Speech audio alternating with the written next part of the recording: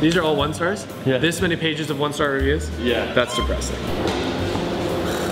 Um, so here we go. After visiting them on my lunch hour, I can say that the lime truck is a real lemon. The food sucks as much as the chef's personality. If there was no wait and if the price was cut in half, I would probably give it a two star rating. I have no idea if the food here is any good because we didn't get to try it. First of all, the line was very long.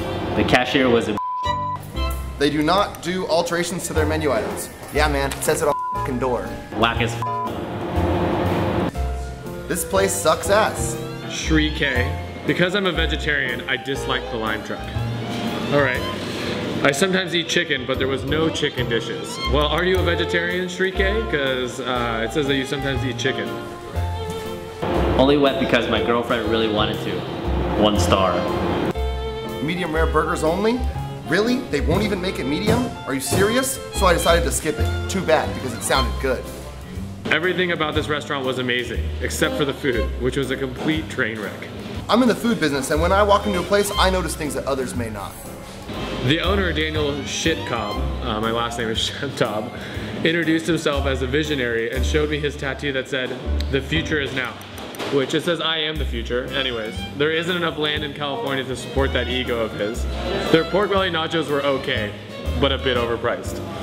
As you all know, I'm a pretty tough food critic on Yelp, but pretty fair. One star. Uh, if I could give them no stars, I would.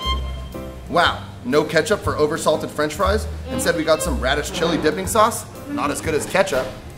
Louisiana P says, combination of cold ice cream and a fried donut is unacceptable to the palate. Waste of money, and I didn't even pay. The pork chop we were served was huge, but very pink, and we were not sure if it was cooked well. Luckily, none of us got sick, so I guess it's okay. Haven't had the food yet, but the wait for the food was extremely long. 40 minute wait at 7.30 p.m. on a Saturday, not bad. So deplorable, we walked out. Thanks for yelping.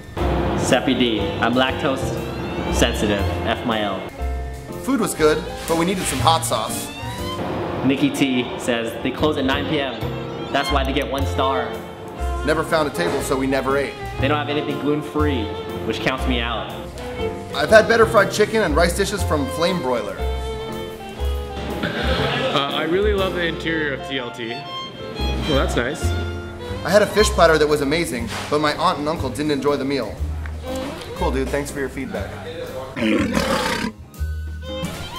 I paid for a glass of that wasn't even a Enough said. Go ahead and say thanks to the Foodbeast guys for helping me relive my nightmares.